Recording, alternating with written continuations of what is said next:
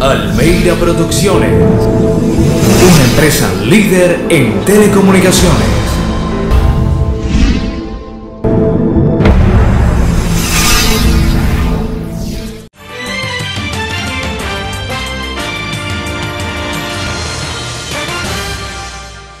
Con corte de maleza y aumento en los patrullajes en horas de la noche y en el día, la Policía Nacional pretende incrementar la seguridad en el sector del polideportivo. Las personas que quieran que este tipo de actividades se realicen en sus barrios deben hacerlo conocer al cuadrante de su comunidad.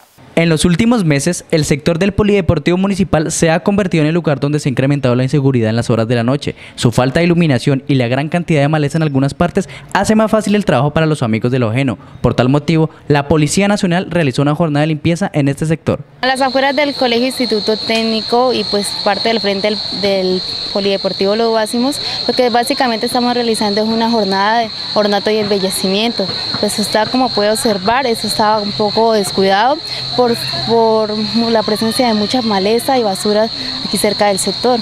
Esto se ha convertido en un foco de inseguridad, un lugar propicio para albergar la delincuencia. Los jóvenes que venían de otros barrios se escondían acá en este lugar para hurtar sus elementos personales a las personas. Esta jornada se llevó a cabo por iniciativa de la Policía Nacional, buscando incrementar la seguridad en este sector. Es de resaltar la importancia de esta iniciativa, debido a que en horas de la noche es bastante alto el número de personas que acuden al Polideportivo Municipal a realizar actividad física. Iniciativa de la Policía Nacional. Como tú puedes observar, nos acompaña el personal de Enquilichao, que de igual forma pues ellos son un gran aliado. El día de ayer les solicitamos su colaboración y hoy a primera hora contamos con ellos. Simplemente nos hacen la solicitud por escrito, nosotros estamos dispuestos a colaborarles.